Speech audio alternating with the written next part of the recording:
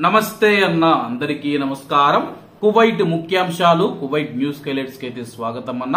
కువైట్లోని Kabd ప్రాంతంలో ఒక swimming పూల్లో ఒక చిన్నారి మునిగిపోయాడు. సమాచారం అందుకున్న పోలీసులు మరియు పారామెడికల్ సిబ్బంది సంఘటనా స్థలానికి చేరుకొని ఆసుపత్రికి తరలించే లోపే ఆ యొక్క చిన్నారి మరణించినట్లు పోలీసులు వెల్లడించారు. ఒక ఆసియా ప్రవాసుడు ఆల్ గజాలి బ్రిడ్జి పై నుంచి దూకి చనిపోయాడని చెప్పి స్థానిక మీడియా పేర్కొంది. అలాగే అతని యొక్క మరణానికి గల కారణాలు తెలియాల్సి ఉందని చెప్పి పోలీసులు వెల్లడించారు. కువైట్లోని నివాస ప్రాంతాలలోని ప్రధాన వీధుల్లో సీసీటీవీ కెమెరాలను ఏర్పాటు చేయాలని చెప్పి ఐదు మంది ఎంపీలు ప్రభుత్వానికి ఒక ప్రతిపాదన సమర్పించారు. ఈ యొక్క సీసీటీవీ కెమెరాల వల్ల కువైట్లో నేరాల శాతం తగ్గే అవకాశం ఉందని చెప్పి ఆ యొక్క ఎంపీలు వెల్లడించారు. మార్చి పద్నాలుగు రెండు వేల ఇరవై నాలుగు రంజాన్ మాసం మొదటి రోజని చెప్పేసి ఖగోళ శాస్త్రవేత్త అదేల్ ఆల్ సాదూన్ గారు తెలిపారు. రెండు వేల ఇరవై నాలుగులో రంజాన్ నెల ప్రారంభం మార్చి పద్నాలుగవ తేదీన ప్రారంభం కానుంది. పర్వానియా ప్రాంతంలోని ఒక రెస్టారెంట్లో అగ్ని ప్రమాదం జరిగింది. సమాచారం అందుకున్న అగ్నిమాపక శాఖ సిబ్బంది సంఘటనా స్థలానికి చేరుకొని మంటలను ఆర్పివేశారు.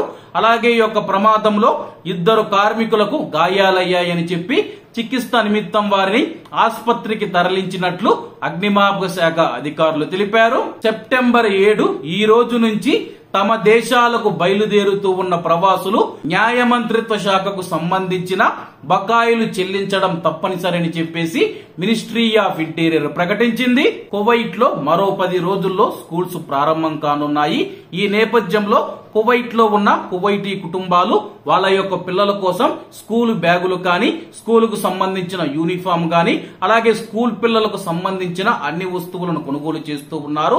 ఈ నేపథ్యంలోనే ఒక స్కూల్ బ్యాగును అరవై దినార్లకు విక్రయిస్తూ ఉన్న ఒక షాపును వాణిజ్య పరిశ్రమల శాఖ అధికారులు మూసివేశారు. ఎవరైనా సరే అధిక ధరలకు వస్తువులను అమ్ముతూ ఉంటే మంత్రిత్వ శాఖకు ఫిర్యాదు చేయాలని చెప్పి కువైట్లో ఉన్న పౌరులు మరియు ప్రవాసులను అధికారులు కోరారు. ఖగోళ శాస్త్ర లెక్కల ప్రకారం ఈ నెల ఇరవై మూడవ తేదీ నుంచి కువైట్లో వేసవి కాలం ముగుస్తుందని చెప్పి అలాగే ప్రజలు వాతావరణ మార్పును గమనించవచ్చని చెప్పి సెప్టెంబర్ ఇరవై ఏడవ తేదీ కువైట్లో సూర్యుడు ఐదు గంటల ముప్పై తొమ్మిది నిమిషాలకు ఉదయించి సాయంత్రం ఐదు గంటల ముప్పై తొమ్మిది నిమిషాలకు అస్తమిస్తాడని చెప్పి ఆల్ వజైరీ సైంటిఫిక్ సెంటర్ తెలిపింది. కింగ్ ఫహాద్ రోడ్డులో తన కారుతో సిగ్నల్ జంపు చేసి మరొక వాహనాన్ని ఢీకొట్టి ఇద్దరి మరణానికి కారణమైన ఫ్యాషనిస్టు కువైట్ మహిళ యొక్క కేసును కోర్టు సెప్టెంబర్ పద్నాలుగవ తేదీకి వాయిదా వేసినట్లు స్థానిక దినపత్రిక తెలిపింది. అలాగే ఈ రోజు కువైట్లో ఉన్న దినార్ రేటు విలువ గురించి తెలుసుకుంటే ఈ రోజు కువైట్లో ఒక దినారు రెండు వందల అరవై తొమ్మిది రూపాయల ఐదు పైసలుగా ఉంది.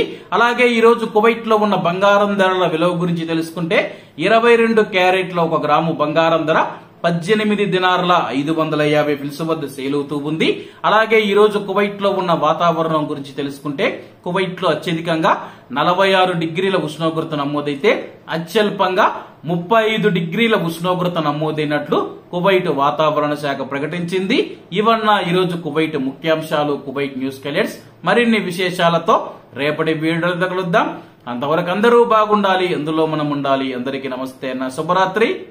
జై హింద్.